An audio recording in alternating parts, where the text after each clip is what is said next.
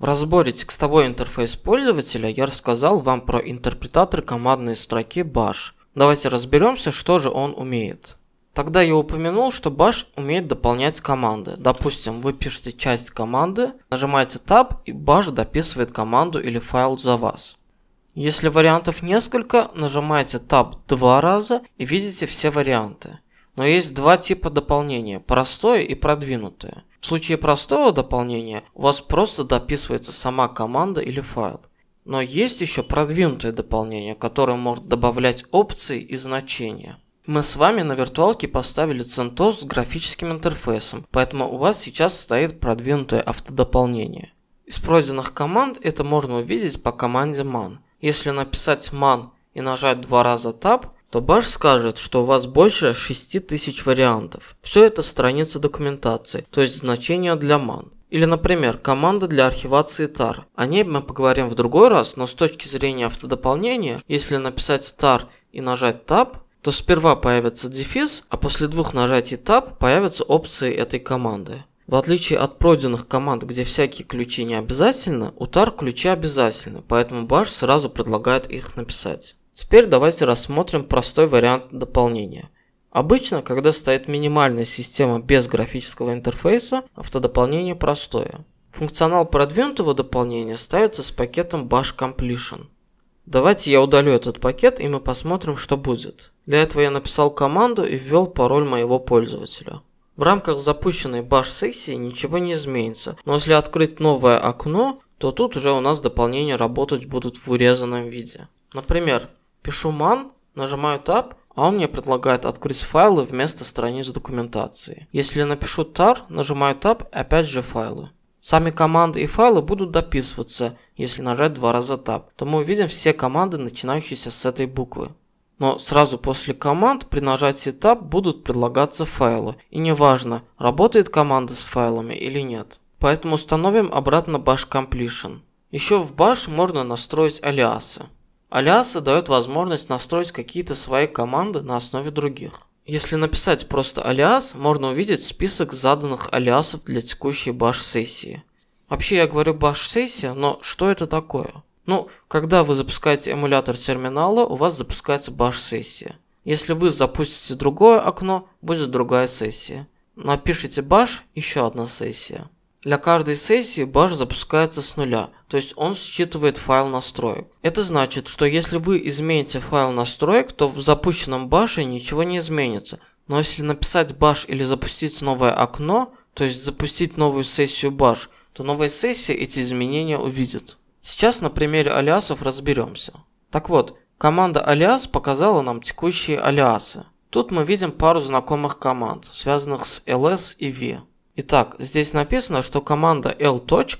это на самом деле команда ls-d. звездочка с опцией Color Auto. ls показывает список файлов и директорий в текущей директории. Ключ D покажет только директории, а не их содержимое. Точка звездочка – все файлы и директории, у которых в начале названия есть точка, то есть скрытые файлы и директории. И Color Auto – это раскрасить вывод. Так вот, если написать l. мы увидим все скрытые файлы и директории в текущей директории. Если вы обратили внимание, у нас ls в принципе всегда раскрашивает вывод, а это потому что есть алиас на сам ls с опцией Color Auto. Тут же есть алиас на v, то есть когда мы запускаем v, у нас запускается vim. Давайте сами зададим какой-нибудь алиас. Допустим, алиас v это nano. Теперь у нас при запуске V будет открываться Nano. Или, допустим, alias show это tail. Обратите внимание, что я взял правую часть в кавычки, а в примере с Nano я этого не делал. Сами подумайте, почему. Если не знаете, попробуйте ввести без кавычек и проверить. Ну и если вам пока это сложно понять, спрашивайте в комментариях, я отвечу. Так вот, чуть ранее я говорил про баш-сессии. И те алиасы, которые мы создали, сохранились только в текущей сессии. Это значит, что если запустить новое окно, то там никаких алиасов уже не будет. А если мы хотим, чтобы наши алиасы остались навсегда, мы должны их написать в файле настроек баша, то есть в файле .bashrc, который находится в домашней директории. Как вы видите, этот файл уже не пустой, и здесь есть какие-то настройки. Некоторые строчки начинаются со знака решетки. Такие строчки называются закомментированными. Программы такие строчки обычно не считывают, они больше нужны для людей. Обычно без разницы, где добавлять новые строчки, но для удобства давайте спустимся в самый низ и добавим там. Добавлю комментарий. Кстати, в Nano можно нажать Escape 3 и Nano сам добавит или уберет знак решетки с текущей строчки.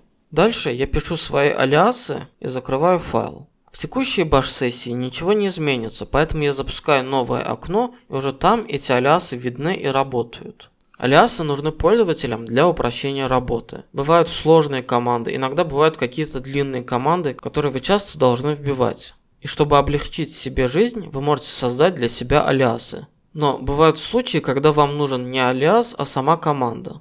Допустим, в системе есть алиас вместо v запускать vim или окрашивать вывод ls. А что если мне нужно разок запустить обычный ls? Есть несколько способов это сделать. Допустим, добавить обратный слэш перед командой, либо взять команду в кавычки, либо написать перед ней command ls. Кстати, как вы, возможно, заметили, у нас тут есть список алиасов, но в файле bashrc их не было. Если файл .bashrc распространяется только на моего пользователя, потому что он в моей домашней директории, то есть файл etc-bash-rc, который распространяется на всех пользователей в системе. Допустим, если вы хотите создать алиас, который бы работал у всех пользователей, создаете его именно в этом файле. Но если полистать этот файл, вы все равно не найдете те же алиасы на ls.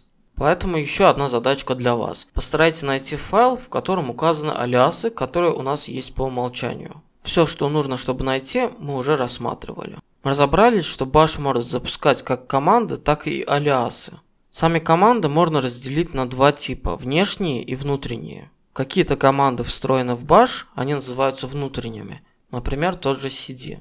Но большинство команд лежат на файловой системе в специальных директориях и называются внешними. Чтобы как-то отличать, что это за команда, внутренняя или внешняя, есть команда type. Допустим, type ls, type mkdir, type cd. В случае ls это алиас, в случае mkdir bash показывает путь к программе, то есть это внешняя программа, а в случае cd bash говорит, что это встроенная в оболочку команда. Но ведь ls это алиас сам на себя, как понять, что там стоит за этим алиасом? Для этого можно использовать type с опцией a. Теперь мы видим, что ls это user bin ls, то есть внешняя программа. Итак, мы узнали, что у нашего интерпретатора командной строки bash есть автодополнения, простые и продвинутые. Также мы поговорили про алиасы, внутренние и внешние программы. Но bash может делать гораздо больше, поэтому будет несколько роликов, посвященных bash и скорее всего не подряд. Касательно гугления, тут все просто и сложно одновременно. GNU Linux очень привлекает новичков, и многие из них очень любят рассказывать про Linux. Еще есть опытные ребята, которые тоже рассказывают про Linux. Небольшая проблема для новичков, в интернете миллион статей на простые темы, но часто бывает, что одни делают так, а другие по-другому. Не имея достаточно опыта, вас это может сильно путать. Постараюсь объяснить, что делать. По многим темам есть официальная документация от Red Hat, Ubuntu и других дистрибутивов. Вас может смущать, что некоторая документация относительно старая, но те азы, которые мы проходим, актуальны, наверное, лет 40. Далеко не все, конечно, но все же. Документация рассматривает не все, поэтому на помощь приходят статьи. Теперь вопрос, каким статьям доверять? Желательно тем, где есть комментарии. Допустим, Хабр. Обычно тут статьи чуть посложнее, но комментарии решают многое. Кто-то пишет статью, его тут же обсирают более опытные. И вот по крупицам можно собрать более полную картину. Найти что-нибудь получше и все в таком духе.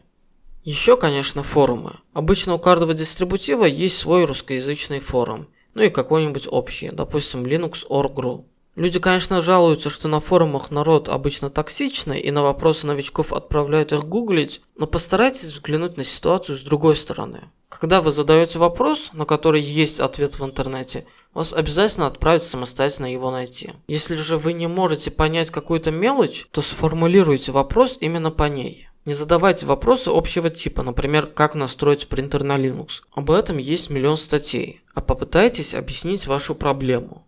Например, я новичок, изучаю Linux, вот у меня стоит CentOS 8, я поискал статьи, вот ссылки на статьи. В одной написано так, но у меня вышла такая-то ошибка, а в другой вот так и все равно не работает. Я попытался найти ошибку, но там что-то другое. Ну и если не знаете английский, указывайте это, потому что на англоязычных ресурсах есть ответы на многие вопросы.